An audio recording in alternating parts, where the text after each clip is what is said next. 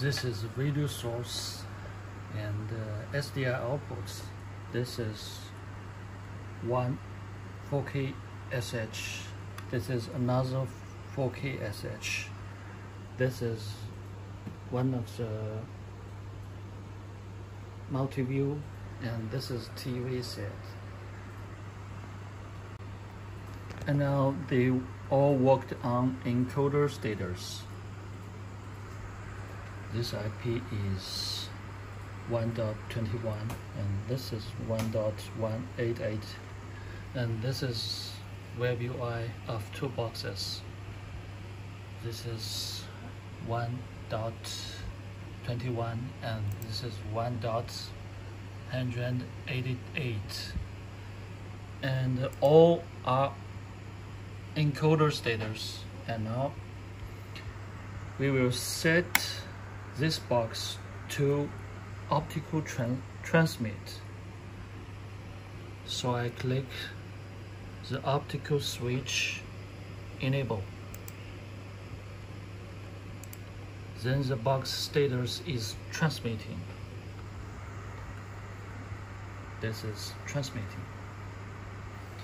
And set another box one dot one eight eight two receiver status receiving optical mode receiving. And then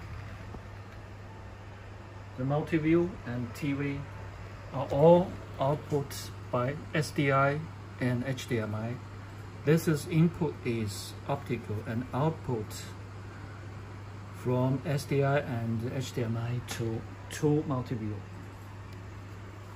And this is also encoder. This is receiver. Encoder and receiver are all working simultaneously. And also we can switch the optical transceiver status.